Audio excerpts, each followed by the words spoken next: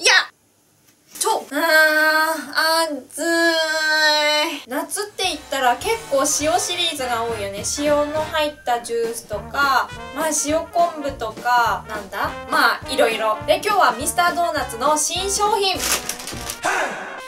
塩ドーナツの3種類を食べ比べしていきます。中を開けるとこんな感じです。右から塩ドーナツ塩ドーナツ明太マヨ塩ドーナツ北海道小豆になってます。で大きさがね画像で見るのよりすごい大きくてもう私の手の大きさぐらいだね。意外に縦長で大きいドーナツになってます。で横から見るとこんな感じです。なんでもこのドーナツドイツの岩塩を使ってるらしい。アルペンザルツほら見て形がね大きさがこんくらいもう結構大きいよね。まずこのシンプルな塩ドーナツいただきます。うん。美味しい。すごい周りがねちゃんとねサクサクしてるしあとしょっぱさもあるけど中はバター風味。でちゃんとコクがある。うまい。うまい。うーんバターゃんと中まで染み込んでる。はい2つ目は明太マヨです。これ上に海苔だかパセリだかよくわかんないけど乗っかっててそしてこの白いのは砂糖かな？でコーティングされてます。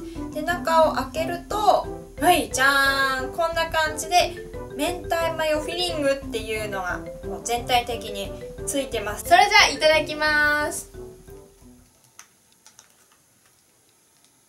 なるほどやっぱりシンプルな塩バターとは違って明太子が入ってるから惣菜パン感が出てるうん美味しいでほんのりピリ辛な感じがして意外にクオリティが高かった